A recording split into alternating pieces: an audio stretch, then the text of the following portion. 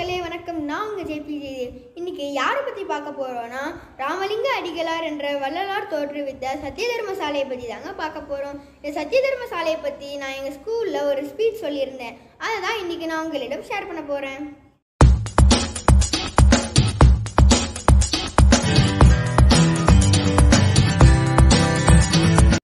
இங்கு கூடியிருக்கும் அனைவருக்கும் என் முதற்கண் வணக்கத்தை தெரிவித்துக் கொள்கிறேன்.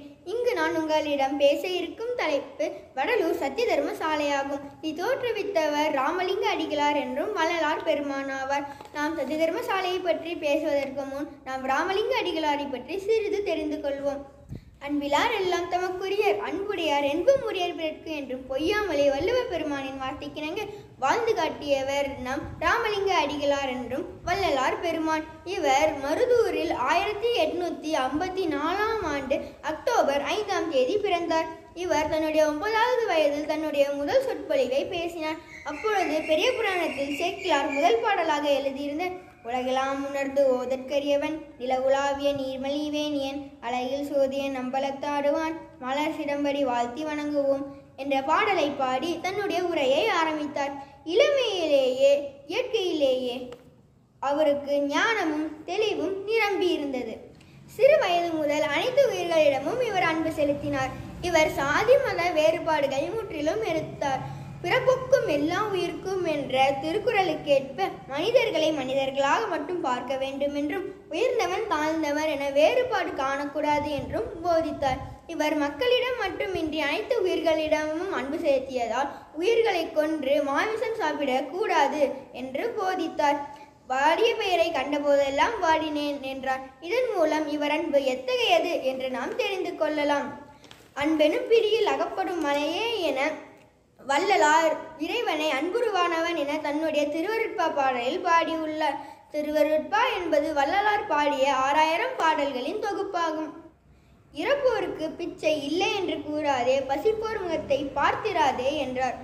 உணவின்றி உயிரில்லை உலகும் இல்லை. உணவே அனைத்திற்கும் அத்தியாவசியமாக விளங்குகிறது. இந்த அத்தியாவசியமாக தேவைப்படும் உணவை மற்றவர்களுக்கு தானமாக கொடுப்பதே அன்னதானமாகும். இதற்காக வள்ளலார் ஆயிரத்தி எட்நூத்தி அறுபத்தி ஏழாம் ஆண்டு மே இருபத்தி மூன்றாம் தேதி சத்திய தர்மசாலை என்ற ஒன்றை தோற்றுவித்தார். இந்த அறப்பணிக்காக ஊர் மக்கள் அனைவரும் சாதி சமய வேறுபாடின்றி எண்பது காணிலத்தை தியானமாக கொடுத்தனர். இங்கு வள்ளலார் சுவாமிகள் தன் கைப்பட ஏற்றிய விளக்கு தன் கைப்பட மூட்டிய அடுப்பு தன் கைப்பட எழுதிய புத்தகங்கள் இம்மூன்றும் இன்று வரை காணப்படுகிறது. இவர் கைப்படம் மூட்டிய அடுப்பு நூற்றி ஐம்பது ஆண்டுகளாக உணவு தயாரிக்கும் உன்னத பணியில் உள்ளது. இங்கு பசியென்று வருபவருக்கு மூன்று வேலையும் இலவசமாக உணவளிக்கப்படுகிறது. ஆற்றுவார் ஆற்றல் பசி ஆற்றல் அப்பசி மாற்றுவார் ஆற்றலின் பின் என்றார் வள்ளுவர். அதாவது நம் நம் பசியை பொறுத்து கொண்டு கடைபிடிக்கும் விரதங்களை காட்டிலும் மற்றவர்களுக்கு உணவளித்து அவர்கள் பசியை போக்குவதே சிறந்தது என்கிறார். இந்த சத்திய தர்ம சாலையில் சிறியோர் வறியோர் என்ற பாடுபாடு இல்லாமல் வரும் அனைவர்களுக்கும் இலவசமாக உணவளிக்கப்படுகிறது. இந்த சத்திய தர்ம சாலை என்னும் கோவிலில் பணம் செலுத்தும் உண்டியல்கள் இல்லை. அதற்கு பதிலாக நெல் உண்டியல் புழுங்கரிசி உண்டியல் பச்சரிசி உண்டியல் பருப்பு உண்டியல் என்ற தானிய உண்டியல்கள் உள்ளன. இவை வியக்கத்தக்கவை. இந்த சத்தியதர்ம சாலையை நிர்வகிக்கும் பொறுப்பை வள்ளலார் பெருமான் திரு கல்பட்டையா என்பவரிடம் ஒப்படைத்தார். இவர் இந்த சாலையின் பெருமை குறையாது. தன்னுடைய இறுதி நாள் வரை இதை நன்றாக நிர்வகித்தார். இவருடைய மறைவுக்கு பின் சத்தியதர்ம சாலையிலேயே இவருக்கு சமாதி எழுப்பப்பட்டது.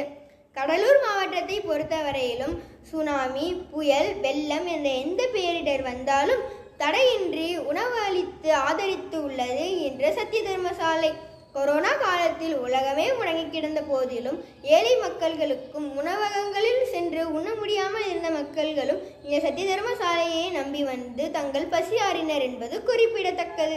தற்போது இந்த சத்தியதர்ம சாலைக்கு நம் அரசு குறைந்த விலையில் உணவு தானியங்கள் கொடுத்த போதிலும் மக்களுடைய பேராதரவுடன் இந்த சத்தியதர்ம சாலை உணவளிக்கும் உன்னத பணியை செவ்வனே செய்து வருகிறது. நாம் ஒரு பொருளை தானமாக கொடுத்தால் பொருளை பெறுபவர்கள் இன்னும் கொஞ்சம் கொடுத்தால் நன்றாக இருக்கும் என்று நினைப்பார்கள். ஆனால் அன்னத்தை தானம் செய்யும் போதில் மட்டுமே பெறுபவர்களிடமிருந்து போதும் என்ற வார்த்தையை நம்மால் பெற முடியும். தானத்தில் சிறந்த தானம் அன்னதானம் என்பர். இதை இரு நூற்றாண்டுகளாக இந்த சத்திய தர்ம சாலை செவ்வனே செய்து வருகிறது. வடலூரில் தலைமையகம் இருந்தாலும் உலகெங்கும் வள்ளலாரின் கொள்கைகளை கடைபிடிப்பவர்கள் அவர்களால் இயன்றவரை பசியோடு மக்களுக்கு இலவசமாக உணவளித்து அவர்களுக்கு உதவி செய்கிறார்கள். நாமும் நம்மால் இயன்றவரைக்கு ம- பிச்சைக்காரர்களுக்கு இலவசமாக உணவளித்து நம் பாரதத்தை வறியோர் பிச்சைக்காரர்கள் இல்லாத ஒரு நாடாக மாற்றுவோம் என்று நாம் இன்று உறுதிமொழி எடுத்துக்கொள்வோம். அருட்பெருஞ்சோதி தனிப்பெருங்கருணை அருட்பெருஞ்சோதி தனிப்பெருங்கருணை வாய்ப்பு நன்றி கூறி விடைபெறுகிறேன். நன்றி.